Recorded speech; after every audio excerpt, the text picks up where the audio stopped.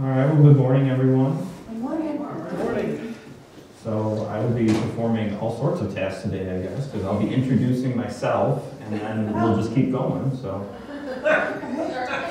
I'll just turn down the mic a little bit so I don't blow out anybody's eardrums, but that should be all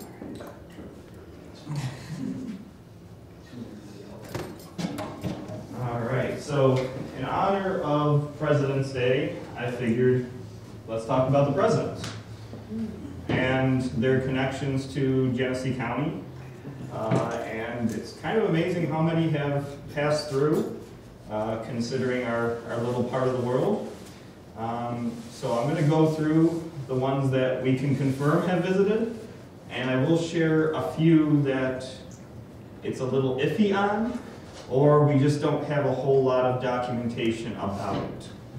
So before I jump into the ones that I have documentation, there's a few, a couple that I'll throw out there um, that I don't mention explicitly in the presentation. The first is Millard Fillmore. Uh, he was a, a New York boy, grew up in the Finger Lakes, and eventually settled in Buffalo. So we know he probably passed through our area, but we don't have anything specific about it. Um, and he may have come here during his law career as well, but again, there's no specifics. And the other is Grover Cleveland, which we do know he came once, but it seems like not much was written about it, which is kind of odd because it was a court case. Uh, in 1882, uh, he came to Genesee County uh, as part of his job as Erie County Sheriff, so there must have been some kind of crossover jurisdiction going on there. Um, but again, might not have been too important of a case because didn't really write too much about it, or at least I couldn't find anything about it. So those are the two that have local connections to Western New York explicitly, but how much in Genesee County is hard to say. So, so I did these in numerical order of when they were president, so it's not necessarily chronological, and it is also not only when they were president. Some came before they were president, some came after they were president, so uh, it's just a president when they visited. So we will jump right in. So our first one is John Quincy Adams, uh, who actually came to Batavia in 1843 after he was president. And he was on a personal trip as he came to visit his good friend Phineas Tracy, who he served in Congress with. Um, and they were both part of the anti-Masonic and the Whig Party, so they were very close. Uh, Phineas was set up shop here in Batavia, one of the prominent families. So John Quincy decided to, you know, time to take a train ride into uh, Batavia and check it out, and talked with his good friend Tracy. Uh, this was at the end of uh, John Quincy Adams' life. He was only passed away a few years later. Uh, so he is the, the sixth president. So for anybody who wants to get their order down, we'll keep the numbers going. Uh, but uh, again, not any official business, just a nice little personal trip from Massachusetts. All right, then we have Martin Van Buren, the eighth president, who actually came twice. And what I found is we do have a few that have come multiple times.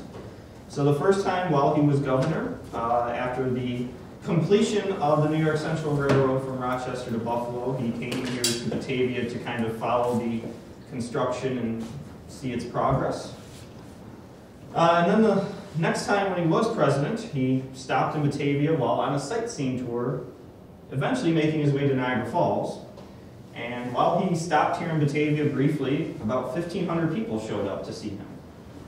And from what I can tell, I don't know if it was truly a scheduled stop or if he stopped at the, the uh, depot here in Batavia and everybody heard about it and just kind of flocked. So, uh, and that's the other thing I've noticed is most of these are built around the train station here in Batavia. And there's a few that word got out and everybody came, even at the best wishes of the president for there not to be a crowd. So uh, people flocked no matter what. Uh, so he actually, uh, Van Buren stopped to see the state arsenal, which was where Tops is today, and then attended a ball at the Eagle Hotel, which became the Hotel Richmond. So uh, he actually did spend some time here in Batavia. Ryan, Yes. do you know when he was governor? So that would have been uh, right before he was president, so we're talking early 1830s at that Uh, that was his jumping off point. So, uh, John Tyler uh, came while he was president, same year as John Quincy Adams, 1843. On June 17th, uh, he was on his way to Buffalo, uh, and he stopped in Batavia, and he actually held a conference with the Holland Land Company officials that were here in Batavia still. This was right at the end of the land company's existence here in Batavia. Uh, and they had a meeting at the American Hotel to discuss property records, uh, as there started to be some controversy revolving around Dutch ownership. Uh, and not just here, but also in eastern New York, as there was some riling up around uh, some of the old Dutch families of where the proper ownership should be for lands along the Hudson Valley. So he stopped here and said, this isn't happening over here, is it?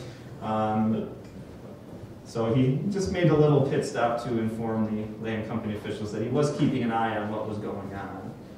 To my knowledge, nothing ever really came out of it. It was resolved rather quickly, and within a couple years, the land company had basically dissolved here in Batavia anyway. So they didn't have, hold too many of the property records at that point. So now we're moving into some heavy hitters. Abraham Lincoln. Uh, so I can't talk about Abraham Lincoln without at least mentioning Abraham Lincoln's 15 Lost Hours, which was a, uh, book written quite some time ago now about his stay with a family in Alexander. And it's probably become the most talked about presidential visit. Uh, and this supposedly happened, and I'm using the word supposedly, so that'll give you a hint what's coming here uh, on his victory tour after he was elected in 1861. Now, we do know that he made a quick stop in Batavia on that because he was passing from Buffalo to Rochester along the train. Uh, but again, it was just a quick stop. Uh, that was on February 17, 1861 uh, at 6.35 a.m. And uh, he actually spoke to the crowd that gathered. He said, we are in God's hands today. Let us do without faltering the task he has set for us to do. But supposedly he stayed in Alexander that night before heading off to Rochester. Uh, however, we can't confirm any part of that. Um, and that book was written by uh, a woman who, it was her family history being passed down, but it was written down about 80 years after the fact. So we take that with a grain of salt, but I figured I'd have to mention it because that's what everybody tends to remember. Uh, but we don't have any documentation that that ever happened, and it's probably unlikely that he did that, considering the tight schedule he had to keep. Um, considering he had to be into Washington, D.C. within a couple weeks of that. So any delay would have hindered that. Ryan, the, the last owner of that house confirms that he was not there. See, there we go. We have confirmation. So, um, but it's still a it's a fun story, but that's really all it is. But Go off on a lot of skins. yes, but Abraham Lincoln did well. At least his body came through a second time. Uh, so Lincoln's funeral train did stop in Batavia on April 27th, 1865. Uh, it was actually pulled by the locomotive, the Dean Richmond, the personal locomotive of Mr. Dean Richmond, who was a good friend of Mr. Lincoln. Uh, and the Dean Richmond train actually pulled Lincoln's funeral train from Rochester to Buffalo. And of course, Richmond, being a resident here in Batavia, he made sure it stopped in Batavia. I don't know if that was an original scheduled stop, but it stayed here for about 15 minutes, and a few thousand people showed up, even at 5.08 in the morning. So uh, the depot was decked out in all sorts of morning garb uh, and patriotic fervor, uh, and all the ladies came up to drop off flowers, and you could actually see the casket. Uh, they had it sort of open. Uh, plus, there were other dignitaries riding on the train, but uh, no other president uh, at that time. And we do have some pictures of the train, the depot, and some other Lincoln artifacts in the military room if you want to check that out. All right, James Garfield. I have a very soft spot for James Garfield. He was the first president I ever had to research. Didn't take that long, but um, Short presidency. short presidency. Uh, but uh, uh, Garfield was running for president in the 1880 election. He was the Republican candidate. And on August 4th, 1880, he made a stop in Batavia at 7:30 in the morning. Uh, and also on the train was another future president, Benjamin Harrison, who was helping out on the campaign trail, who was a senator, I believe, at that time. But they were both rather well-known Civil War generals, so reading the articles, it's always General Garfield and General Harrison, which I think a lot of people forget that they actually did serve high-ranking military officers. Now, if you know anything about Garfield, he was probably our second quietest president behind Calvin Coolidge.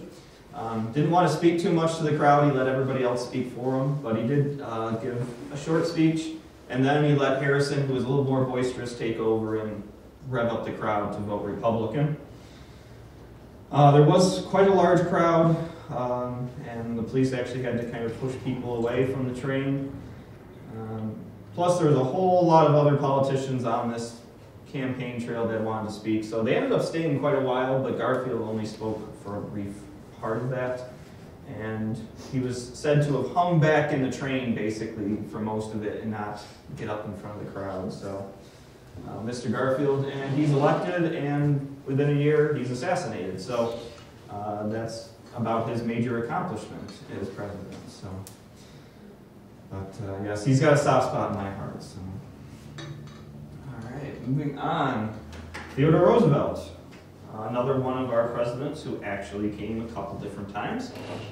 Uh, the first time was on November 1st, 1900, while he was still governor of New York, but it was on the campaign trail for William McKinley as he was his vice presidential candidate uh, and running mate.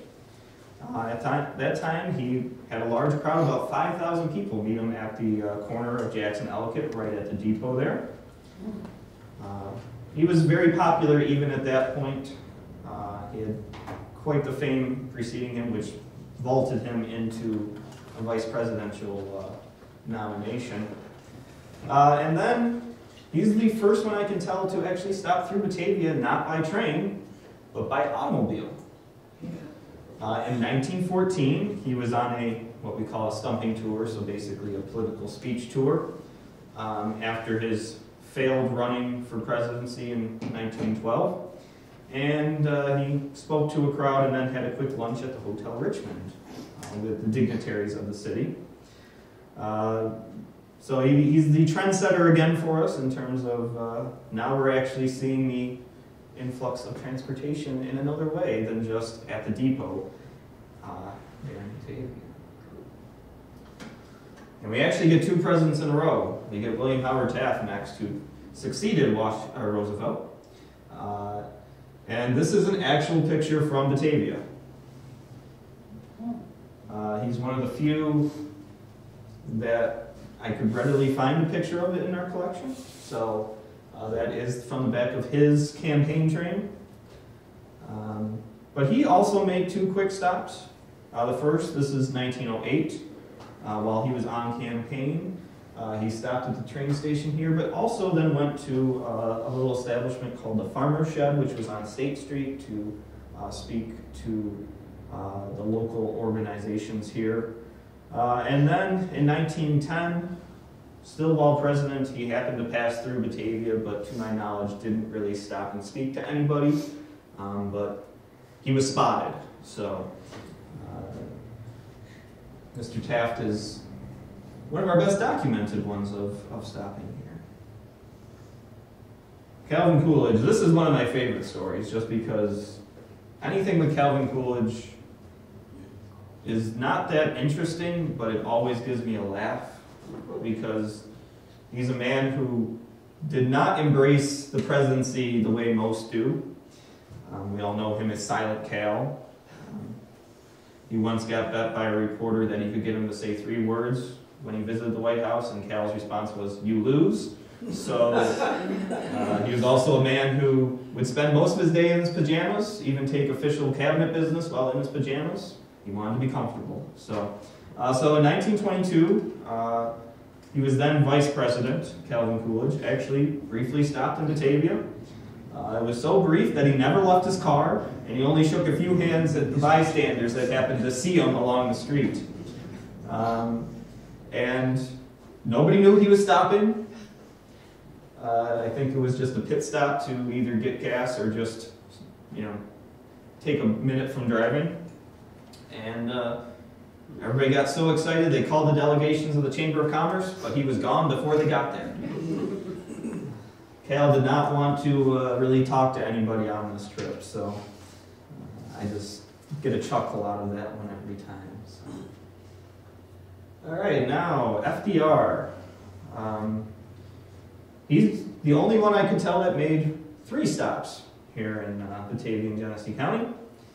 Um, the first came in 1920 when he was still Assistant Secretary of the Navy. And this was just after the end of World War I, and he was there to basically promote the importance of the sort of continued war effort following World War I, uh, and to sort of prop up the Navy especially, and the need to keep funding our armed forces as after World War I there was a, as the United States did at that time, draw back inward uh, and become more isolationist. Um, he would later visit as governor of New York, and then in 1940 while on campaign for while president. Uh, while he campaigned here in Batavia, he never left his train though, uh, and did speak to a large crowd at the depot. Uh, it's also important to note that in the 1944 election, uh, both Eleanor and his son FDR Jr. both came to campaign for him. Um, so we do have some ancillary connections to other presidential visits, but uh, he did not come himself.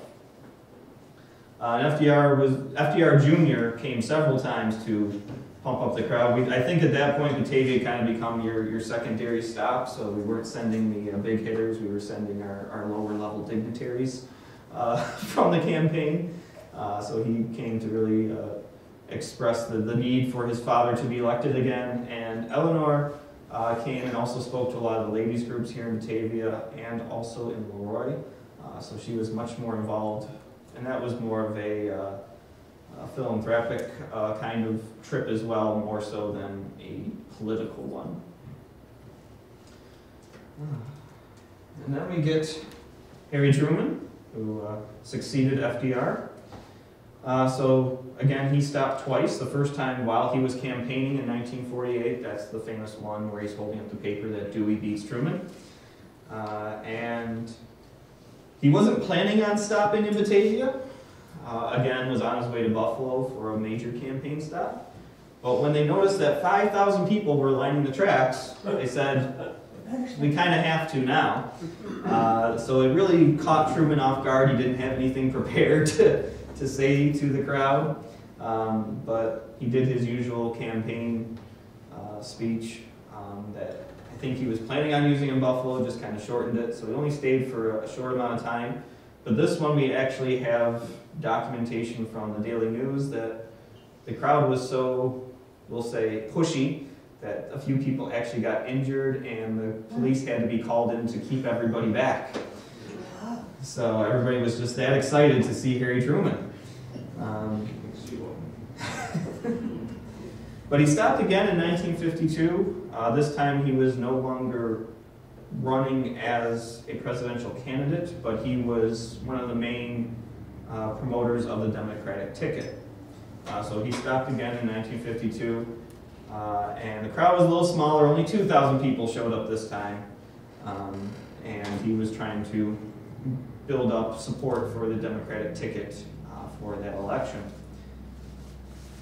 And also that year, actually just a few weeks apart, President Eisenhower shows up to also do the same thing on his whistle stop tour, as it was referred to, uh, which is probably the reason why Truman stops in Batavia in 1952 because Eisenhower had already stopped. So you have to counteract the message.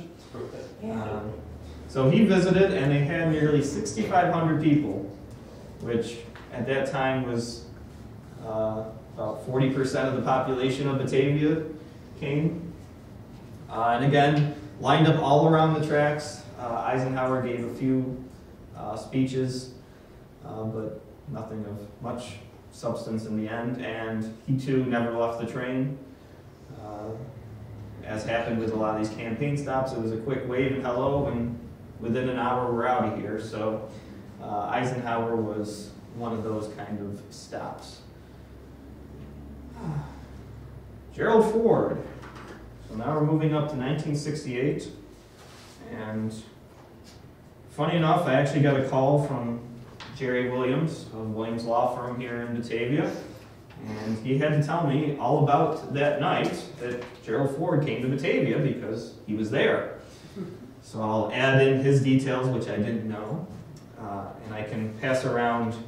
Uh, got a few copies of his, the program from his speech. So uh, Gerald Ford was at that point the Speaker of the House, and uh, well, the, no, sorry, the Minority Leader of the House of Representatives. He wasn't Speaker yet.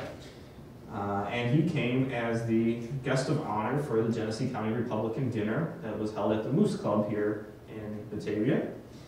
Uh, and it was basically an overnight stop, but uh, Jerry Williams added some info for me, and uh, it's quite a funny story, actually. So, Gerald Ford flew in from Washington to Rochester and then got a ride into Batavia. Uh, and that night after the event, everybody was leaving. But Gerald Ford had no way of getting back to DC because there was no return flight. because, as Jerry put it, everybody just flew commercial. There wasn't a private plane for him to take. So we kind of sat around figuring out how are we going to get him back to Washington. And uh, eventually, uh, uh, the Woodwards out in Leroy, kind of- or no, sorry, uh, Leroy Machinery, the uh, owner there stepped up and said, "We'll just fly out of Leroy on my private plane, and I'll get you back to Washington D.C."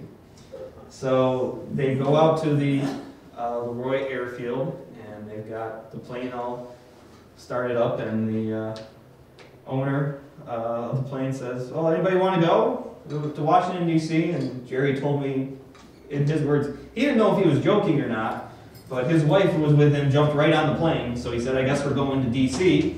Uh, and they flew back to D.C. with Gerald Ford on the plane, and then got a ride back to Batavia on that same plane. So. So it seems like that story might have been more interesting than the actual event, but uh, it's a pretty funny one. And he did um, gave me a couple copies, if you want to pass these around, of the program. Social Of the event.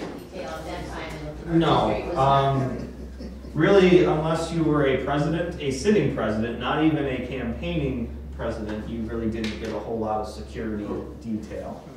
Nor did you have access to a, a government transportation. So, um, so that was something I literally learned yesterday. That whole story. Jerry called me up and said, "I got something to tell you." So you can add that to uh, to the story of Gerald Ford coming to uh, Batavia.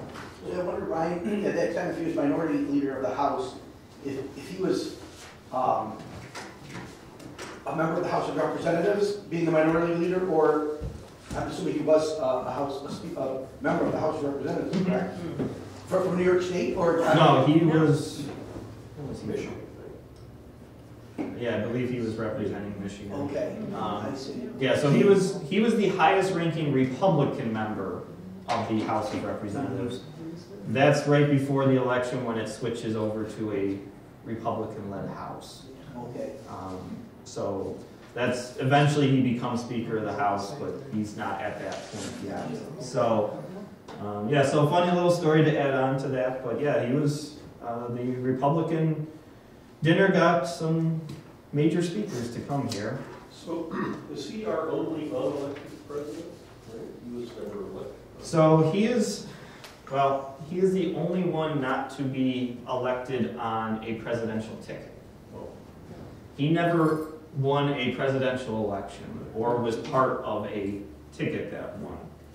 Um, so he was not elected as vice president. We have some that were only elected as vice president and not president. Um, but in fact, a few on our list, John Tyler's one of those. He took over for William Henry Harrison, but didn't win his own election. Um, else? Um, for instance, Roosevelt, he does win an election, but he takes over as vice president. Uh, and same thing with Truman, that they, so, um, but yeah, he's the only one not to be elected to vice president or president. This was a crooked path, so to speak. Yeah, he's, he's got our, you, you can say he had a very meteoric rise as within, you know, a few weeks he goes from Speaker of the House to President, so, um, and that's the only time that's happened. There's actually been a few other times it's, they've thought about it, but, uh, not, only time that's happened, so. All right, and then our most recent, uh, presidential visit, uh, happened in 1981. Um, and we have had famous political figures since, but uh, not president. Uh, so you had George H.W. Bush. Uh, at that time, he was vice president to Ronald Reagan, and he came to speak at GCC for a Boy Scout event uh, at the personal invite of Barber Conable. So without Barber Conable, he's not coming here. Um, that tells you how much sway Barber Conable had. Um, as he was good friends with all these individuals, and if he asked them to do something, they generally did. Uh, so there was a crowd of about 500 people. Uh, we spoke about the importance of the Boy Scouts uh, and how they help shape young lives. Um, and of course, it's not just about the Boy Scouts. He had to talk about the strength of the United States during the Reagan administration and had to bring in a little bit of a political campaign slant to that. Um, but it was just for a Boy Scout event. Um, we've also had Robert Kennedy come while on the presidential campaign trail, um, but he never is actually president, so I left him out of this list. Um, but uh, if anybody is really interested in our famous visitors, this is where I got most of my information from. I was written back when Sue Conklin was our county historian. It's um, heroes, politicians, and uh, reformers visiting or of Genesee County. They wrote sort of a series of, they call it Famous Genesee. This was book two. Uh, so this is where I got most of the articles from, along with some other uh, anecdotes and things. So those are all the presidents that have taken the time to visit our, our great area uh, and grace us with their presence. Uh, I'm happy to take any questions or comments, stories, or whatever uh, along with that. During those presidential, presidential visits, when they came through on train, was the train station Batavia roughly in the vicinity of where Jackson Elementary School is now, or is it more off of Ellicott Street? So basically, the intersections of Jackson and Ellicott. Jackson, Ellicott. Right down there. The Salvation Army, Oh, pretty much right there. Oh, really? So, Okay. um, Oh, it's next to the tracks. yeah. But that general areas where everybody would congregate. Yeah, the depot was right, right along the tracks there, but that's where Near Madam Edmonds. she was near that spot. So, yeah. Conveniently located, right? To my knowledge, nobody visited Madam Edna's while they were on a presidential tour. Um, but uh, yes. Those could be houses. Well, she wasn't here when Lincoln was here, so but you know, There was a light on in the window. yes. I'm sure she might have gotten busy after those uh, events, but Okay. if only Warren G. Harding had stopped, maybe he would have visited. So there's a little presidential humor for you. So. So was Coolidge in his pajamas when he? To my knowledge, he was not. He was in formal driving wear, as you had at that time. So he got very comfortable in the White House in that sense. Yes, I did. You had mentioned, um, one of the presidents, they met at the American Hotel for negotiations, was that the one in Lima? Lima? Uh, uh, Eagle Hotel. Oh, I thought you said If I did, I meant to say Eagles. Oh no, uh, that was Tyler. Um, he did me at the American Hotel. That was here. There was an American Hotel here in Batavia. Uh, that was, I'm thinking correctly, it was along Main Street. Um, it's one of those that kind of didn't last all that long, but that was the big hotel before the Eagle Hotel was built. Um, not on the same spot, that's just, it kind of took, took over the spot, so yeah. No, all of this was within Genesee County that they met, so.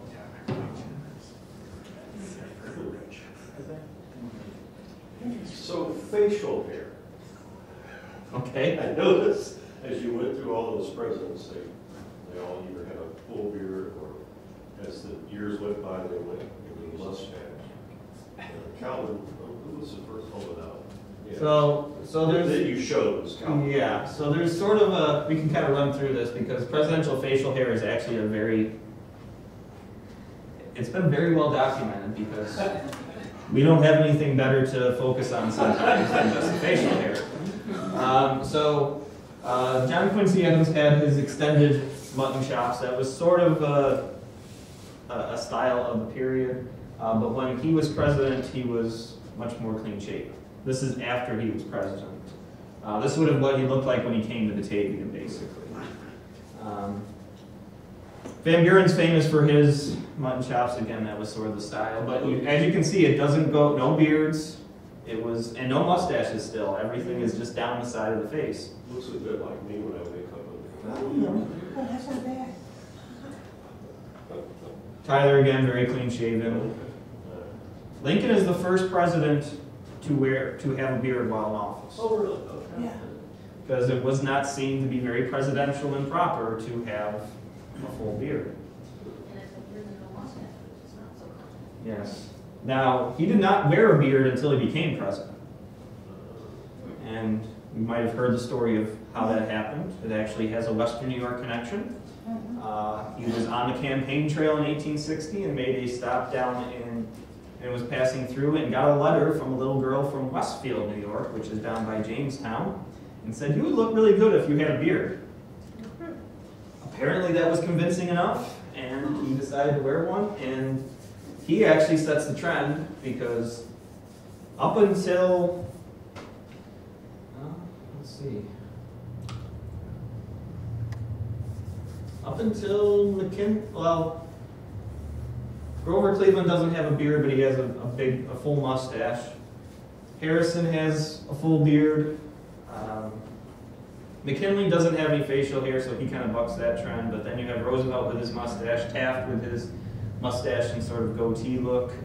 Um, and then it kind of, the 20s come along and that fashion goes out and it's back to clean shaven and basically that's what we've had ever since. So it's gone back to that presidential look of being clean, clean facial hair, uh, and so there's there's eras of presidential uh, facial hair you can sort of point out to that Yeah, that actually reflects sort of the the cultural changes of the time. So, um, and sometimes the presidents are the ones leading that charge. They say, well, the president's got that, so that's that's the style. Um, other times they're kind of going along with the trend as, you know, it makes you look either more easy to talk to or looks you make you look more formal, you know, whatever the, the case may be. So. never thought, Scared. I don't. never thought. Well, if I showed you every single one, you would start to see the But pattern. it's the cultural trend, I think you're right. Yes, Right. it, it's not. it's- Yeah, it's not, they say, okay, now you can't have a beard, it's, it was always preference, it's just what the, the style of the day was, so. Just like cutting hair, Exactly, yeah, so, whatever goes. yes. Yes. Mentioned uh, security for the president, and now we have Secret Service. Any idea when that security started? So, the Secret Service is actually signed into office the day that President Lincoln is assassinated. But that's not what the Secret Service was created for. It was created to stop counterfeiting. And that was its role for quite a while. It's actually after the assassination of McKinley that the Secret Service takes on a protection detail. Um, because at that point, we've had three presidents assassinated within 40 years. And they started to see more of the need for protection while the presidents were out and about. But uh, oftentimes before then, it was either the president's private staff that was sort of hired on to watch out for things, but oftentimes they, there was no armed, armed security or anything like that. Um, while they were at social functions or out meeting people. Because it was also seen about the big thing with the presidency for a long time, and this included the White House, is accessibility. And a lot of presidents believe that I need to be open to the people. So you could actually walk into the White House and ask to see the president. Andrew Jackson. yeah. But even after that, Lincoln was a big one, of- a proponent of that. Uh, there was this much greater sense, and I don't think the formality of the position is what we think of it today either, is that the White House was just like another dwelling that, hey, I want to go talk to the leader of the country. You might not be able to, but you could walk right in and say, I'm here. And nobody would probably stop you. So, um, so yeah, the, while you, you don't see, you just see a lot of staff when presidents are visiting up until, you know, relatively modern day. Yes. Yeah, Jeffrey, you know, uh, talking about uh, Coolidge, Jefferson used to come down in his slippers to uh, sit with people and Yep. talk, yeah. I mean, it was, the White House was not a seat of power, it was just the president's residence, really. So, um, you know, for instance, I just did a presentation on Saturday about Lincoln. We all heard of the Lincoln bedroom in the White House. It wasn't a bedroom, it's called the Lincoln bedroom now because that's what Lincoln's office was. He didn't meet in the Oval Office. He just met in this one room and that's where he did everything. So the concept of the White House and the president being in the White House has changed drastically over its history. Um, it, it really just went from a residence, now it's one of the most heavily guarded places in the world. So, uh, just reflection of the change of times, but also reflection in the change in the perception of the president and the office of the president. So. One last comment with regard to uh, Gerald Ford, just reading his bio here. I mean, he was a tremendous football player, Yale uh, School, law school graduate, uh, all kinds of decorations, Mm-hmm. very, very accomplished. Yet he had the reputation, probably because of Saturday Night Live, of being a bumbler. Yep. They said when he was in the White House, people could walk in because he forgot to lock the door. Uh, or they Again, wouldn't- uh, They wouldn't take his papers to the National Archives because they were written in crayon, stuff like that. Well, None of which was true. No, and, and part of that is just how he becomes president too. Um, that was sort of the big joke is that he kind of just fell into it. Um, Literally. in, yeah, and in case of Chevy Chase's impression, yes, literally. I mean, I mean, he did fall one time and they ran with that. So, I mean, that's, that's also the power of television and, you know, being in the limelight all the time that all of your little missteps people are going to know about, which, you know, two generations before wasn't the case. Um, so, yes, unfortunately, he does get a bad rap in, in the sense of his personal, you know, abilities. Um, so he, he became an easy target, and even if it wasn't true, that's satire is what it is. He was So. very distinguished, but they said he quit playing water polo because his horse horses drowned. You got to admit they're good jokes, but. But uh, even with Gerald Ford, he actually was uh, recruit. Well, their NFL teams were trying to get him to play professionally, and he turned that down to to go to Yale to pursue a. And the NFL at that time was not what it is today, so it would not have guaranteed him any sort of fame and success. But the Green Bay Packers and the Detroit Lions wanted him. So, um, any any other questions? Or presidential stories, or, you know, What do you see for our future? Do you see anyone coming back? see what coming back? Any of our future presidents? Stop it. Um, I'm gonna say probably not. Um, No, we're not big. you know, unless, uh, well, they all fly by plane now, so unless they're taking a, a small commuter aircraft, they're not really gonna be stopping in Genesee County, but you never know. Um, I mean, early two thousands, Hillary Clinton stopped, so you, I could see it for more of a special event or something, major recognition. Our West Wing project. Exactly. They- they Once- could once put a that gets shovel in up, the ground, We're so- gonna get uh, Obama back to come There we go. and, and speak or something. So, again, a lot of this is based around a campaign trail. the campaign trail does not function like that anymore. Um, so that kind of cuts us out of it, but you never know. Um, Get you some coffee. especially when, uh, you know, with these, you know, post-presidential careers, you know, they get into a lot of different uh, goals and activities that maybe bring us right to our doorstep, who knows, so. um, But I'm not holding my breath, so, It seems like now a lot of the former presidents, when they do, after they're out of office, it's either a book tour or a speaking tour. It's all, it's a big, a big money, big yeah. money thing now. They want to go to communities where whatever their speaking fees are going to be, fifty thousand, hundreds of thousands of dollars. Yes. It's all about the dollars.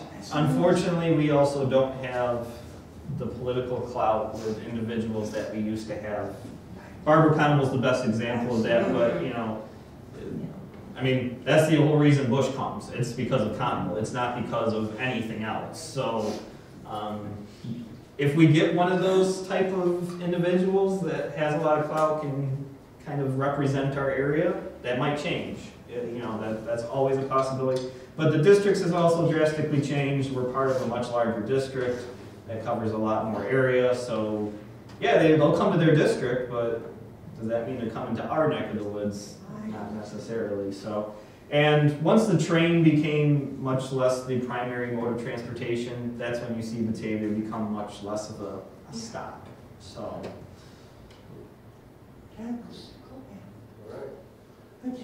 Anything else? All right, thank you.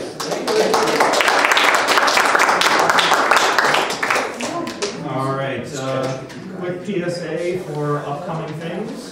Tomorrow night, we have our next guest speaker, uh, Reverend Jeremiah Williams of the Mount Zion Baptist Church here in Batavia. Will be coming to talk about the history of the church and sort of uh, black history in general in our area, but the church being a central aspect of that. Uh, that's at 7 o'clock tomorrow. Uh, and I forgot to uh, thank Pub Hub Coffee for sponsoring the uh, coffee Yes. today. And they will be doing it all year round. And Rich and Ray Ann for providing the cookies for us today. I didn't take them. Yeah, they're, they're safe, don't worry. Um, You brought them and you eat them. so then going into March, we have a, a busy month again. Uh, we have uh, our next, the next next guest speaker is uh, by Michael McBride. This will be Tuesday, March 12th, and he'll be talking about his distant relative, John Joseph Exile McBride, who was exiled from Ireland, joined the Fenian movement, but eventually became a leading voice for Irish rights, both in the United States and abroad. Uh, even met with six presidents uh, and stayed at the British Prime Minister's house for a time while he was having negotiations with him, and was here in 1894 when this building was dedicated as a museum. And he's buried in Brockport. So uh, this is sort of a genealogy project that has just gone wild. So he will be talking all about everything he found out about his ancestor and everything he did, which is going to be a very interesting presentation. So that'll be at 7 o'clock on Tuesday, March 12th. Uh, Thursday, March 14th is our next trivia in honor of Women's History Month. I'll be talking about some famous women of history in our trivia. Uh, then we have another guest speaker on March 21st. Uh, Juliana White will be talking about her book called Our Invisible String. It's a it's a historic novel, but it's set in Buffalo in 1957, and it's sort of about growing up during that time. Uh, so that, that should be very interesting. A little different take on our historical narratives. Uh, and that, so those are all at seven. Uh, and our next Java with Joe, uh, which will be March 28th, Tyler will be presenting on 19th century uh, weddings and bridal wear. So be sure to come by and check that out. And Saturday, March 23rd is our next big, big event. It's our next edition of our Murder Mystery Dinner Theater, put on by Western New York Improv. We will be at the Batavia Country Club again. Anybody who went the, the last time, uh, this one might even be more fun, as it is called Spirits and Suspects, a Roaring Twenties murder mystery. So it's set during the 20s, and they've worked in a solar eclipse. So it should be a lot of fun. Uh, tickets are seventy-five dollars. You can actually, we have them online as well. Uh, so if you want to purchase them that way, just go to our website. There's links everywhere for it. Uh, or give us a call and we can help work it out. Uh, and there's choice of meals. It includes your meal. Uh, I got dessert this time. So we might all be stuck too stuffed for it, but I got it. So um, there's also a cash bar and a really wonderful performance by Western York Improv. So that's everything coming up for the next month. I hope to see you. Is No Blarney coming? Thank you. I totally forgot. Uh, how could I? They would kill me. But uh, Friday, March 15th, so just in time for St. Patrick's Day, No Blarney is coming back. Uh, a two-hour show this year. Wow. So they're giving us some extra time from seven to nine. There will be an intermission, so don't worry, go up, use the bathroom, you know, all that, you can do that. Uh, tickets for that are five dollars, uh, or four dollars if you remember. And they always put on a good Oh, show, thank you. They're fun. so, and, uh, I think they might have been adding some new songs to the repertoire too, so there might be some things we haven't heard before, so. Yes, thank you for that reminder. Uh, too much going on, it slips through the cracks. Yes, sir. Uh, Some time ago, you had Mike Eula speak about his upcoming book, The Current County Historian. And he was extremely interesting. I don't know, his book is supposed to come out in April. Yes, so I did get him again. Good. I will have him talk about a different aspect of the book than what he did before. Yes, it was a long delayed process. It's supposed, it's been, it was supposed to be out about two years ago, and it's finally out now. Uh, we are getting copies of it, so you can get them here once they come out. They're coming out the end of April. So we actually did get him for May. So for the May Java with Joe. So you will have time to talk to him about that. It, it came out through uh, our uh, Arcadia Press, actually, which does a lot of the local history books. Uh, a lot of them that we have in the gift shop actually come through them. So I'm glad to see somebody finally latched onto it, and uh, it's it's a it's a manageable tome now versus a, a giant academic work. So um, yeah, so that'll be the May Java with Joe, and uh, Don Burke will be doing an April Java with Joe for us. So. Yeah, who's in that grave? Yes. There you go. Um, so yeah, that's that's what's coming up. So I hope to see you guys uh, at the upcoming events. And if you haven't already, check out all the changes we made to the front of the museum, the new exhibits. Uh, we have the expanded Eclipse exhibit now, 98 years since the sun went out, that Tyler has taken the lead on and made. You, you won't recognize the, the front of the building now. So uh, other than that, uh, thank you. Yeah. Bart Dentino. Yes, wow.